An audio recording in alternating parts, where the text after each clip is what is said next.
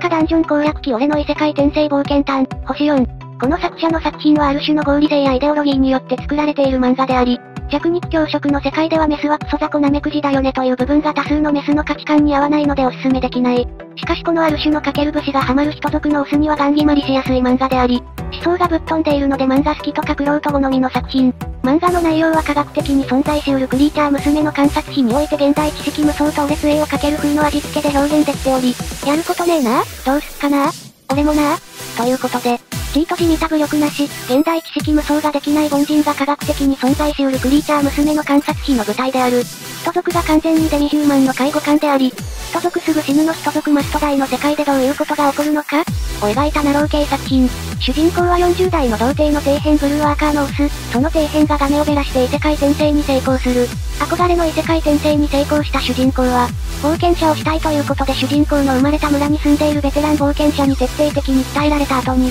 冒険者したいならということで敵対的なデミヒューマンが主に住んでいる島に向かってそこで冒険者をするというシナリオ。ここからこの主人公の視点を通して、人族の拠点ではどうなっているのかとかメス冒険者の扱いはどうなのかとかなぜデミヒューマンは人族に敵対しているのか？などをたしなみつつ、ほぼメスしかいないハーレムパーティーを組んで冒険者をするというシナリオがクソ激烈に面白い。ここからネタバレ。この漫画は、ナロー系でお約束のように出てくる胸クソに対してクソ激烈にすがすがしい回答をしてくれる部分がスカッとする。例えばバカな宗教家のトップのバカが人族至上主義宣言をしてしまったため、その宗教の影響力を下げないでこれからも搾取する側に立ち続けるために人族はデミヒューマンを絶滅させなければならない、みたいな尻拭いをし続けなければならないからデミヒューマンと人族は敵対したとか、この宗教でキャリアアップしたい官僚が、クソ強冒険者に対して、もしも自分たちの側に立ってデミヒューマンを殺さない場合は全人類がお前に対して敵対するよ。というような脅しに対して、すがすがしいまでに返り討ちにするシナリオとかのクソ頭の良いシナリオややっていること。